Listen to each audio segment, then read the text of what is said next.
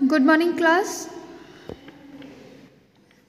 this is your lecture second of chapter twelve simple past tense students open your book and go to page number sixty four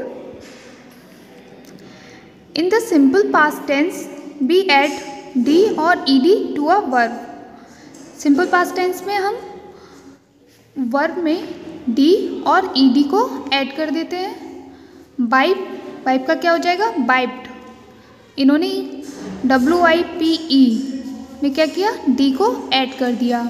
Second pray P R A Y ये verb है। इसमें इन्होंने क्या किया? E D add कर दिया। Prayed P R A Y E D तो simple past tense में हम डी और ई डी वर्ब में ऐड कर देते हैं। For verb that end in a consonants plus Y we change the Y to I and then add E D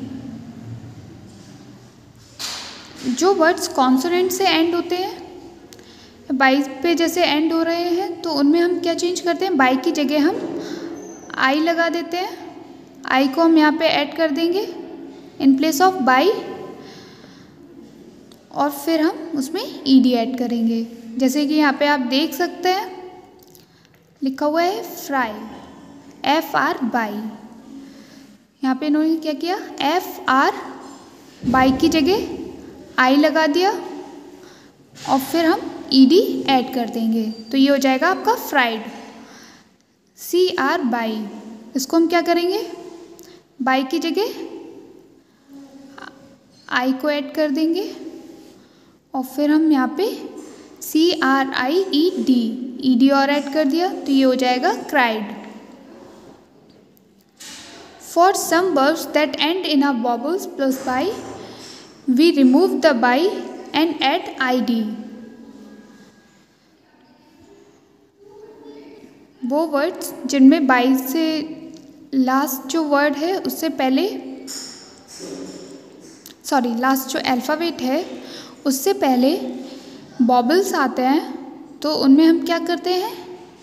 by को remove करके आईडी को ऐड कर देते हैं। जैसे कि पे का हो जाएगा पेड इन्होंने यहाँ पे आईडी को ऐड कर दिया। से का सेड ले का laid okay next for some words that end with consonant we repeat the consonant and add E D वो वर्ड्स जो कॉन्सोनेंट पे जो जो एंड होते हैं कॉन्सोनेंट के साथ एंड एंड होते हैं, उनमें हम क्या करते हैं? जो लास्ट अल्फ़ाबेट होगा, उसको हम रिपीट कर देते हैं। जैसे कि यहाँ पे आप देख सकते हैं लास्ट में क्या है?